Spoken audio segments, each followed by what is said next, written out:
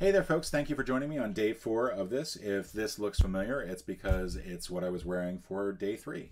Uh, I'm recording these back to back so that that way I have these ready to go uh, over the next few days. We're continuing our exploration of Button Shy solo games with Death Valley from Kevin Ellenberg. My apologies to uh, Bohan Praklajic. I'm, I'm probably mispronouncing that name horribly uh, for Ragemore. I forgot to give the credit for that uh, for yesterday's uh, game playthrough. Uh, this is a push your luck game involving scenery in Death Valley. Uh, I am still not entirely sure I understand how the game works, uh, so this will probably not be the best uh, video in terms of learning how to play the game or how to what strategy you need. Uh, but the game is like all other button shy games. It's 18 cards plus some instructions. very easy to go through. We're going to put that up there so that to look at. we'll keep the instructions over here for reference purposes.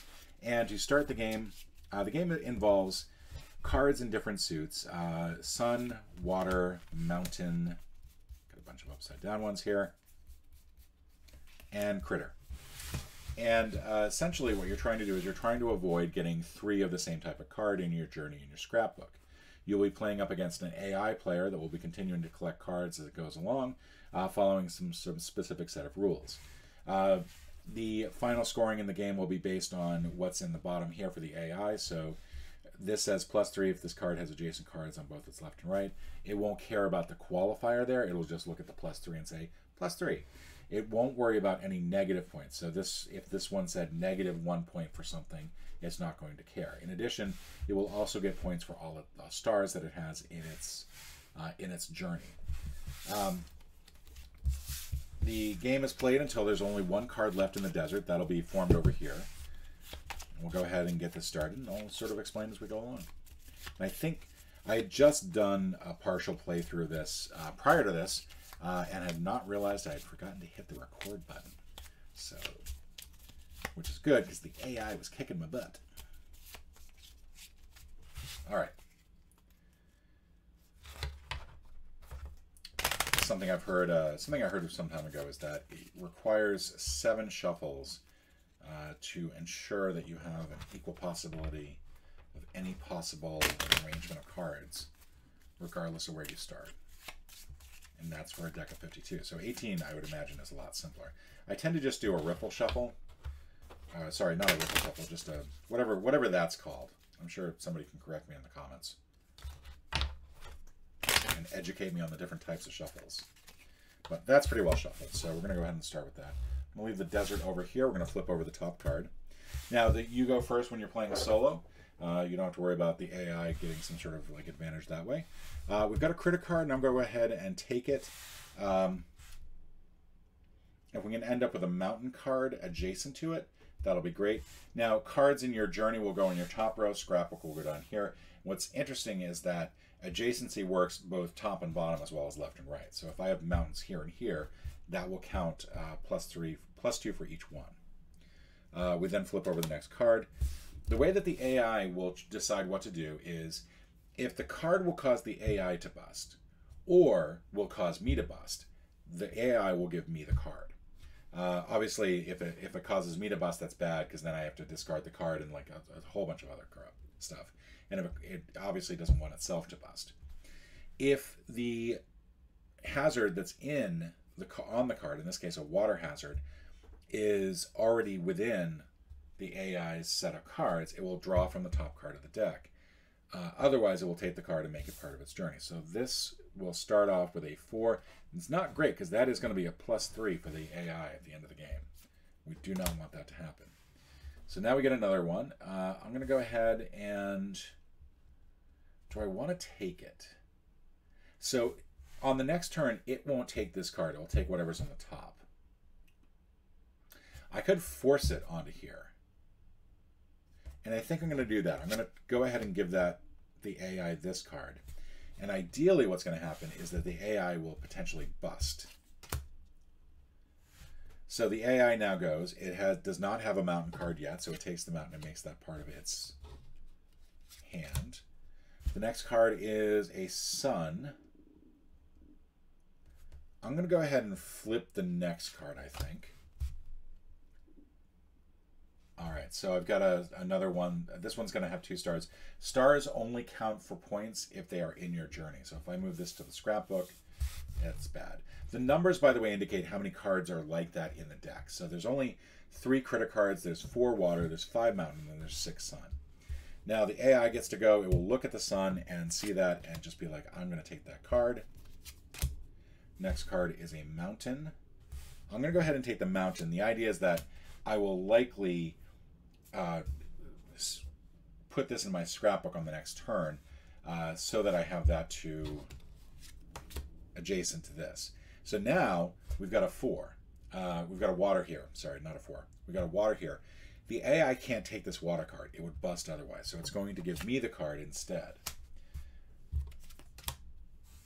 Uh, I'm going to go ahead and move this mountain down here. I can also choose to swap this with a card in my journey.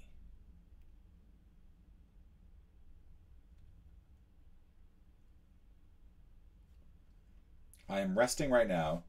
I can choose to hide this too. Uh, I'd like to keep this Mosaic ca uh, Canyon out because this is going to give me plus one for every type of hazard, and I've already got all four hazards. Uh, I'm not going to choose to rest. I'm not going to choose to do this. The may swap up the face of desert card with a card in the journey. Uh, it will go ahead and just take the uh, the critter here because it didn't already have a critter. And now that's up for me.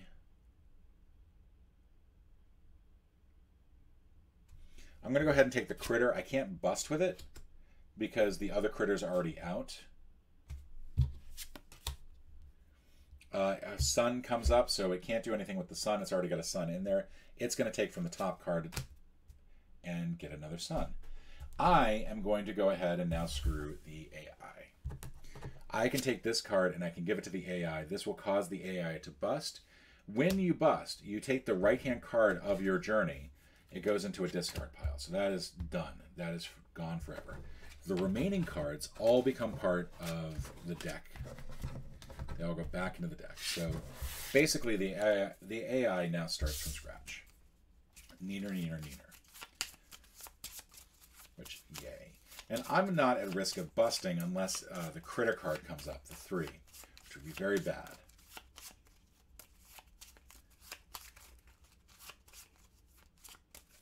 All right, so the AI gets to go. Uh, the AI will go ahead and take the water card. There's no reason not to. Uh, there's no other card for the AI. Next card is a sun card. Uh, I can choose to rest. I could actually get rid of this critter card if I wanted to. Uh, I think what I'm going to do is I'm actually going to go ahead and take the scorpion card. I'm going to go ahead and rest with this down here. I'm then going to go ahead and hide the coyote card so I can't possibly bust. I can then swap this with a card in my journey, but I don't want to. I don't want to swap for this because then that's going to put me at risk of busting. All right, so uh, AI is now going to get to go. The AI looks at the sun, says that looks good to me, takes that. Another sun comes up. Uh, I don't want that sun in my hand, so I'm going to go ahead and take the next card, and I get a sun anyway. And that's bad because...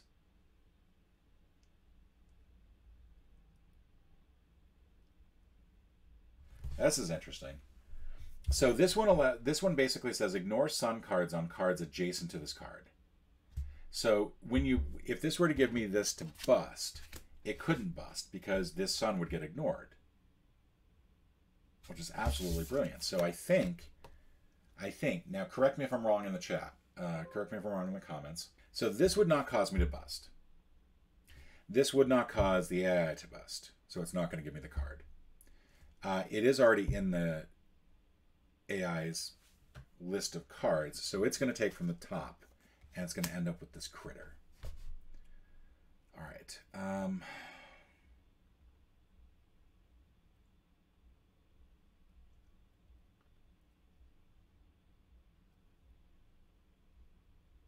I'm going to go ahead and uh, this is this is difficult.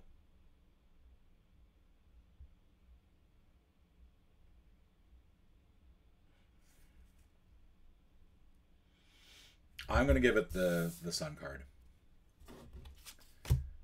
Put it in a dangerous situation. So it's going to ignore the water here.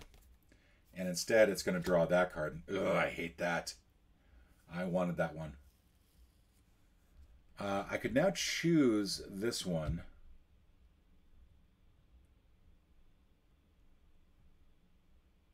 I don't want to go with it though. This is a. This is a tricky trade-off here. So the the water card, if I take it, I won't get points from any other water card. If this is a water card and it gets flipped over, they're going to give me the water card and I'll bust everything on the top here. If I give them the water card, they're going to take from the top of the deck no matter what, because they've now got one of every type of card.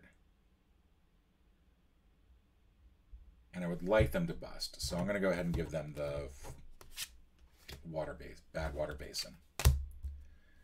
All right, so again, it can't bust. I can't bust with it, but it will bust itself.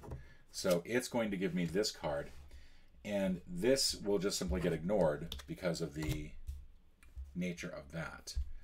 Uh, there's now a 5 there, so now I can decide what to do. I can... I think I'm going to be really risky here, and I'm going to take the mountain. How many cards are left? We've got three cards left. We've got three mountains out.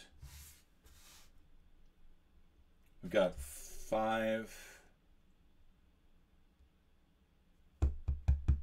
I'm going to give it the mountain. I'm going to give the AI the mountain because there's a two, two and three chance that this next card is a mountain. It's a water. Uh, it would bust with that, so it's going to give me that. I don't bust yet. I'm not sure if you can actually see all that. This will cause them to bust, so I'm going to give them that. So the Dante's View card gets discarded. All the other cards get shuffled back in. And I'm at a huge risk here because if I pull up a sun, if it comes up sun or water, they're going to bust me. And we're going to basically, the only thing that we will have done is gotten rid of two cards and given these, put these two cards in my scrapbook. So, yay. I, what I probably should have done is I probably should have put this into my scrapbook and then gotten rid of these two cards and hidden them. That would have been the smart thing to do. Mountain. It does not have see a mountain in my hand. I can't bust with that, so that goes there. Uh, I can now. I'm gonna go ahead and rest. I think. I think I have to. I think I have to. I'm gonna move. Uh, I'm gonna move this to the scrapbook. I'm gonna hide these two below it.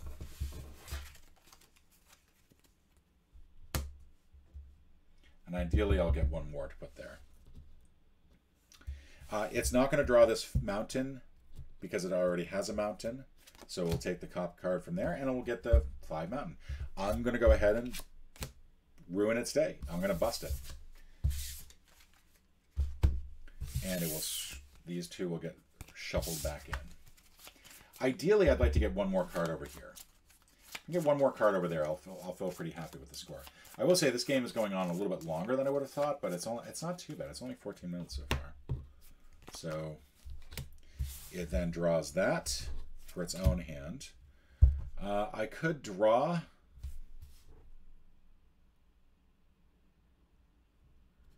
this.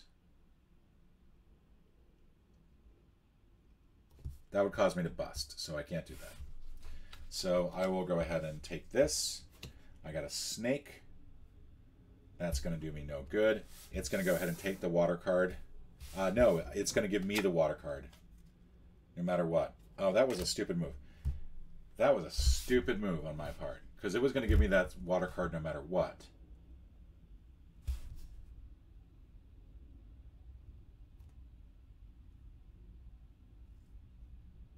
Yeah, that was that was stupid. So I bust. It, this is going to get discarded. Uh, I can choose to keep this card uh, avoid shuffling this back into the deck. If I do that, is there any reason that that would be helpful? I don't think so. That card's going to go away. We're going to take these and shuffle these back in. That was stupid of me.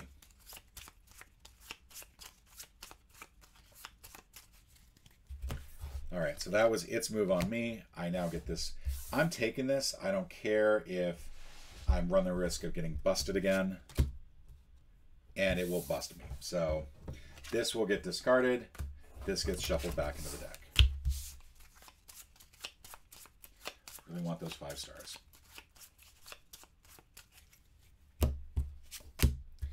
Uh, it, this is now my turn. I'm going to go ahead and draw from here. I'm getting the sun.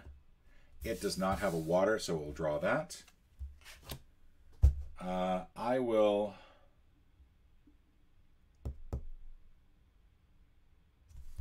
I don't know if I can actually look, if it's legal to look at what's under here. I think I'm going to go ahead and take this one. I don't think there's another water for it to bust with. And it's going to take that mountain, which blows. I was trying to avoid that. Uh, uh, this Oh. I am going to rest with that so I can get the plus three points for that. It already has a sun, so it will take a card off the deck and get the three. There's only one card left in the desert, and the game is done. That blows. Oh my god, that blows. Anyway, so the AI score Ay, ay, ay, ay, ay, ay, ay, ay, ay. Okay, so in the base game, the AI will score one point for each star in its journey. So it's going to get a whopping 10 points for the stars, and I am I feel so stupid on that. Uh, it'll get a plus uh, for each of the positive scoring abilities. So it'll get plus one for Mesquite Flat Dunes, plus one for Mosaic Canyon, plus one for Snakes. It does not care about why, so it doesn't have to apply anything for that. So it's not going to, fortunately, plus five, which would have been really bad. Um, it will, however, get three, so it scores 13.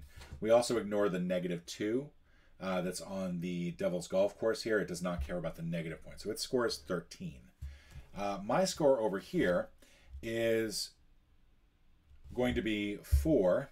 Oh, this is just bad. This is just bad. I'm going to get three for this. Uh, Three for this, and I completely messed up this ability.